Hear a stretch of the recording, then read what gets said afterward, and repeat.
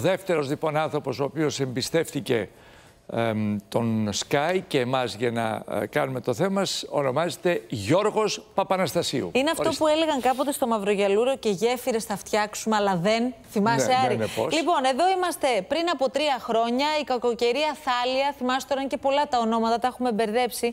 Γκρέμισε αυτή τη γέφυρα που θα δούμε τώρα στις εικόνες μας. Την πήρε το ποτάμι. Είμαστε στην Εύβοια. Σωστά, κοντά ναι. στα ψαχνά της Ακριβώς, στην κεντρική Εύβοια. Ε, είχε, είχε υποστεί Αυτά είναι που βλέπετε μπροστά σας. Είναι αυτή η γέφυρα που βλέπετε, Αλλά... είναι κομμένη κυριολεκτικά. Ναι, είχε υποστεί μεγάλη ζημιά και αυτό το κομμάτι της ε, ε, Εύβοια. Δόθηκαν από την περιφέρεια 2,5 εκατομμύρια ευρώ προκειμένου αυτό το έργο να ολοκληρωθεί. Έγινε το έργο. Η απάντηση είναι όχι. Γιατί αυτό θα προσπαθήσουμε να αναζητήσουμε τώρα. Είναι μαζί μας ο Δήμαρχος ε, Δυρφίων Μεσαπίων, Ψαχνών, ο κύριος Γιώργος Ψαθάς και τον ευχαριστούμε γιατί βρίσκεται και στο σημείο, στην επίμαχη γέφυρα για την οποία συζητάμε. Γεια, σας, κύριε Δήμαρχε. Κύριε Δήμαρχε, γεια σας. Καλή εβδομάδα. Καλή δύναμη, πάντα Ευχαριστούμε πολύ. Να είστε Ευχαριστούμε καλά. πολύ. Και ο Αντιπεριφερειάρχης Ευεία, ο κύριος Γιώργος Κελαϊδίτης. Σας ευχαριστούμε πάρα πολύ, κύριε Κελαϊδίτη. Σας καλημερίζουμε και τους δύο και ξεκινάμε με την καταγγελία από τον τηλεφωνικό θεατή μας.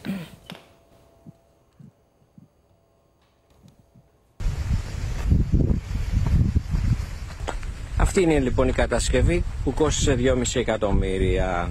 Κάποια στιγμή λοιπόν ήρθε η Θεομηνία Θάλια, η οποία ε, κατέστρεψε τη γέφυρα, την παρέσυρε και έφυγε η γέφυρα από τη θέση της. Έτσι λοιπόν για 3-4 χρόνια τώρα ε, το χωριό δεν έχει γέφυρα και ο κόσμος εξυπηρετείται από άλλους παράπλευρους δρόμους, πολύ μικρούς, πολύ στενούς, πολύ επικίνδυνους, με απότομες στροφές. Κάποια στιγμή λοιπόν βρέθηκε κάποια κονδύλια του κράτους με 75 εκατομμύρια περίπου που ήταν για να ε, αποκατασταθούν οι ζημιές από τη θεομηνία. Γίνανε κάποιες μικρές αποχωματώσεις και κάποια στιγμή βλέπουμε δύο κολόνες, όπως θα δείτε και στις φωτογραφίες, δύο βασικές κολόνες.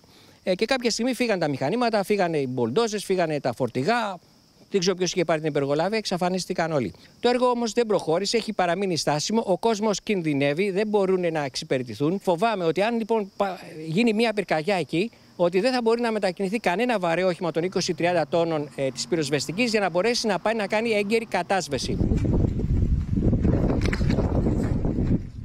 Λοιπόν. Άρα λοιπόν ευχαριστούμε πρώτα απ' όλα ξανά τον κύριο Γιώργο Παπαραστασίου και κύριε Δήμαρχε Μεσαπίων, κύριε Ψαθά. Πάμε λοιπόν να δούμε το θέμα. Ανατίθεται σε μια εταιρεία ένα έργο το η οποία εταιρεία δεν το εκτελεί; Κοιτάξτε, η, τα ποτάμια είναι αρμοδιότητα της περιφέρειας. Το έργο έχει ανατεθεί από την περιφέρεια σε συγκεκριμένη εταιρεία. Το πρόβλημα, κύριε Πρωτοσάλτε και κυρία Αναστασοπούλου, είναι οι χρηματοδοτήσεις. Δεν υπάρχει χρηματορροή με βάση τα έξοδα των εργολάβων.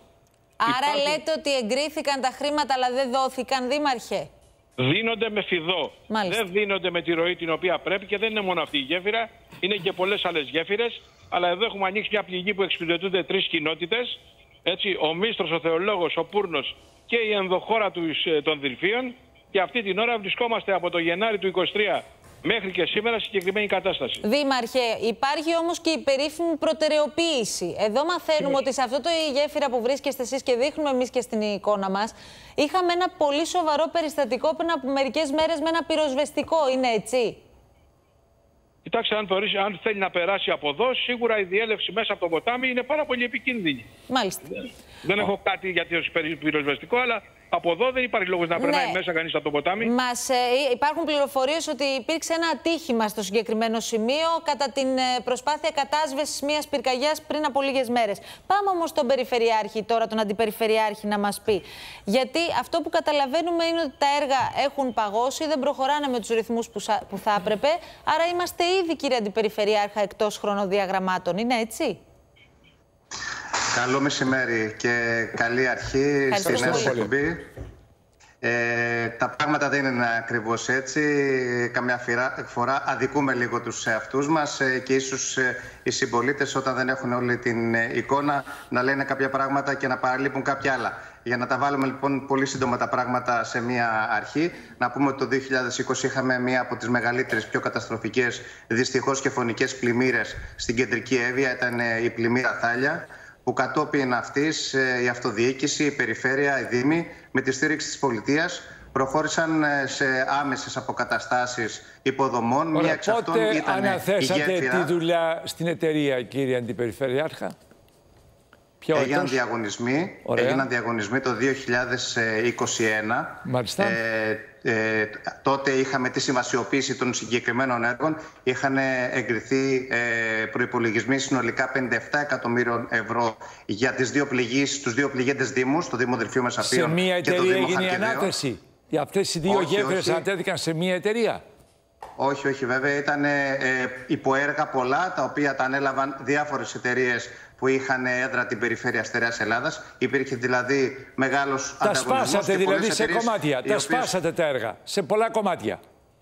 Ακριβώς προκειμένου ναι. να υπάρχουν πολλές εταιρείες και ταυτόχρονα να μπουν Ποιες δεν έχουν ανταποκριθεί; Και να τα κατασκευάσουν. Και τι κάνετε ε, για αυτές; Ε, όλες, Όλες έχουν ανταποκριθεί, κύριε Πότρο Σάλτη. Πρώτα απ' όλα να πω ότι η συγκεκριμένη γέφυρα άμεσα μετά την καταστροφή ήταν λειτουργική στην παλιά της μορφή. Κύριε Περιφερειάρχα, εμείς δεν ε, βλέπουμε η, γέφυρα συγκεκριμένη... εδώ στι εικόνες. Και ναι, ναι μάλιστα το έργο, σύμφωνα με το σχέδιο, έπρεπε να έχει τελειώσει μέχρι τις 6 Ιουλίου του 2024, δηλαδή πριν από δύο μήνες. Αυτό είναι σωστό; Το, το περασμένο φθινόπωρο μπήκε λοιπόν ο εργολάβος, γκρέμισε την γέφυρα. Όπως εμείς πάντοτε κάνουμε σε τέτοιες περιπτώσεις, είχαμε εξασφαλίσει εναλλακτική οδό. Ναι. Υπάρχει εναλλακτική οδός όπου μπορούν να κινηθούν και οι πολίτες και τα πυροσβεστικά χήματα και οπωσδήποτε. Άρα η, γέφυρα δεν υπάρχει γιατί δεν έχει, υπάρχει. έχει ξεκινήσει το εργοτάξιο όπως βλέπετε και από τις φωτογραφίες σας. Όντως υπάρχουν καθυστερήσεις. Υπάρχουν καθυστερήσεις της τάξης των 2-3 μηνών για διάφορους λόγους. Ο ένας λόγο.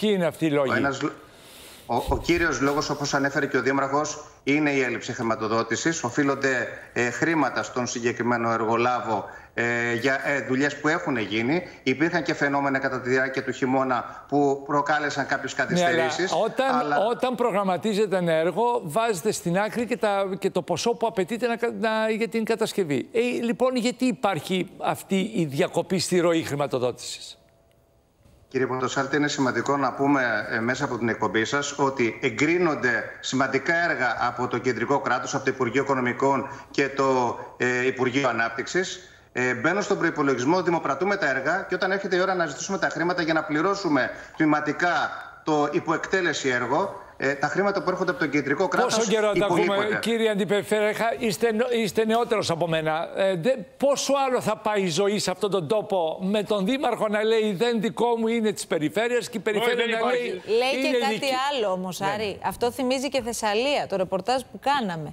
Λέει ο Αντιπεριφερειάρχης ότι εγκρίνονται Μη τα λεφτά. Μη κύριε Δήμαρχε, δεν δικό σας το έργο. Τώρα θα απαντήσει και ο Δήμαρχος. Θα απαντήσει. Τα δικά μας έργα. Ναι, καταλαβαίνουμε ότι ενώ εγκρίνονται τα χρήματα, όταν φτάνει η στιγμή να δοθούν στους, ε, στις εταιρείες δεν δίνονται. Αυτό λέτε κύριε Περιφερειάρχα. Ακριβώς. Εμείς δεν έχουμε δικούς μας πόρους. Χρηματοδοτούνται τα έργα μας από το Κεντρικό Ταμείο του Κράτους, από το Πρόγραμμα Δημοσίων Επενδύσεων. Θα σας πω νούμερα. Από το 2020 μέχρι σήμερα έχουμε εγκρίσεις έργων αποκατάστασης για φυσικές καταστροφές. Γιατί όπως γνωρίζετε και από τα ρεπορτάζ σας, τα πάρα πολλά δυστυχώς, η ΕΒΙΑ είναι το μετεωρολογικό ανάχωμα της Αττικής. Δεν το δημόσιο λοιπόν. Κύριε... Δεν έρχονται τα χρήματα, όχι. Ορίστε, τι είπατε; θα... Δεν έρχονται τα χρήματα. Δεν έρχονται τα χρήματα. Λοιπόν, η περιφέρεια στερεά Ελλάδος λοιπόν λέει ότι δεν έχει ε, συνεχή ροή χρηματοδότησης για έργα τα οποία ε, απαιτούνται. Άρα πρέπει να πάμε λοιπόν. πάνω από την περιφέρεια. Λοιπόν, στον κύριο Ταχιάο, λοιπόν, ναι. στον κύριο Ταχιάο, ο οποίος είναι ο επί των έργων στο Υπουργείο Υποδομών. Θα το θέσουμε και αυτό μαζί με όλα τα υπόλοιπα. Ευχαριστούμε πολύ. Σας ευχαριστούμε να είστε καλά πολύ. και το Δήμαρχο που βρέθηκε στο σημείο. Να, να ξεκαθαρίσουμε Τώρα... κάτι, ένα δευτερόλεπτο. Ναι, ορίστε, Δήμαρχε, ορίστε, ναι. Δήμαρχε. Με την περιφέρεια έχουμε άψογη συνεργασία και τα έργα, τα 57 εκατομμύρια που είπε ο κύριος Χελαϊδίτης, πράγματι προσδιορίστηκαν με βάση τις ανάγκες και το τι έχει ο καθένας. Δεν έχουμε σύγκρουση αρμοδιοτήτων. Χρηματορροή δεν υπάρχει. Είναι από αυτές κανένα... τι περιπτώσει που σύγκρουση δεν υπάρχει. Αλήθεια είναι αυτό, αλλά δεν υπάρχει και γέφυρα τελικά, κύριε Δήμαρχε, ε, δυστυχώς. Γέφυρες επικοινωνίας υπάρχουν. Γέφυρε.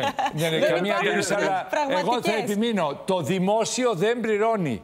Γιατί έχω, έχω την αίσθηση ότι αυτό το δημόσιο δεν πληρώνει δεν είναι μόνο το δικό σας, μόνο, δεν, δεν είναι μόνο η δική σας περίπτωση. Έχω την αίσθηση ότι είναι κάτι γενικότερο και μάλλον είμαστε μπροστά σε ένα πρόβλημα. Είμαστε...